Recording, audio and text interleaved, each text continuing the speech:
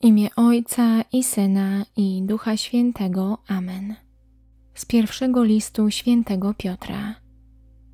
Wiecie bowiem, że z waszego odziedziczonego po przodkach złego postępowania zostali wykupieni nie czymś przemijającym, srebrem lub złotem, ale drogocenną krwią Chrystusa, jako baranka niepokalanego i bez zmazy.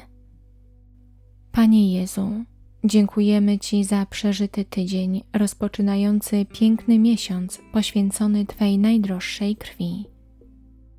Każdy z nas składa Ci uwielbienie i dzięki za wszystkie łaski, które ofiarowałeś nam przez swą męczeńską śmierć na krzyżu.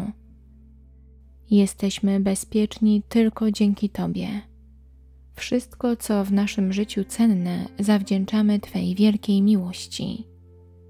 Chryste, prosimy, przez Twą najświętszą krew, błogosław nam na kolejne dni tego tygodnia.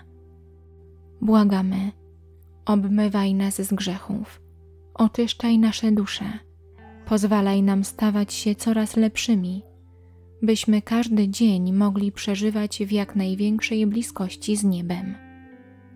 Prowadź nas, prosimy, w każdej życiowej sytuacji ty jesteś naszą ochroną, naszą ucieczką, źródłem mądrości i wszystkiego, co dobre.